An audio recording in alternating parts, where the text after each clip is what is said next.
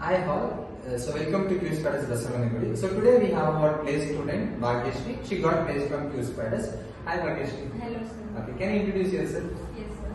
Uh, myself Bhagyashri Talikoti and I have completed my Master of uh, Computer Application from TS University, Bangalore. Okay, what is the package you got offered? Yeah, so the current package is 480. Okay, for LP. So how many rounds were there? Can you explain me the interview process? Yeah, so the interview is uh, like like first you get uh, active plus also testing Okay. and second was uh, technical round where you got uh, all questions were asked on the manual testing Hmm. uh, like uh, questions on uh, why the testing engineer do the software testing and uh, what is defect life cycle and the third, third round was also like uh, technical plus HR.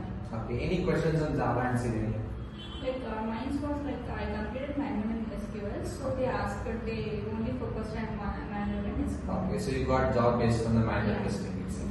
Very good. So what helped you to get from Q Spiders? Um, like uh, we, first we should be regular to the class to get the uh, more knowledge and good knowledge about the subject. Okay. And after that, uh, the trainers were like were teaching the subject very thoroughly and like thoroughly.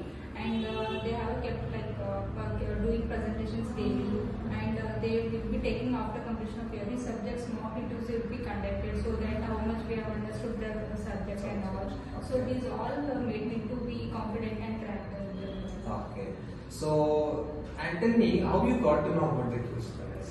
Yeah, so like uh, one of my friend actually got placed from this uh, Fuse bus company only. Okay. Uh, so she suggested me while I was searching for the job after completion of my MCA.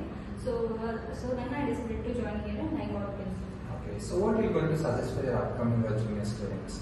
Like I suggest them to be like be regular to the classes and uh, subjects thoroughly and uh, do the presentations daily. That really helps you a lot. If you uh, like miss any presentations or anything, then uh, your flow of subject will be lost.